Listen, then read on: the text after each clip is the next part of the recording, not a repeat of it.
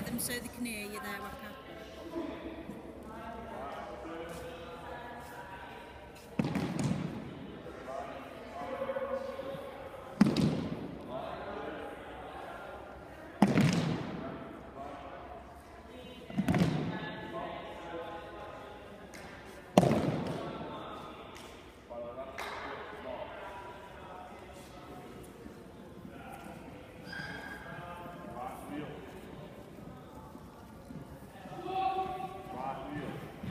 Tone a bit.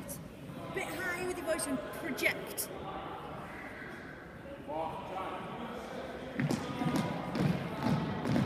You can move towards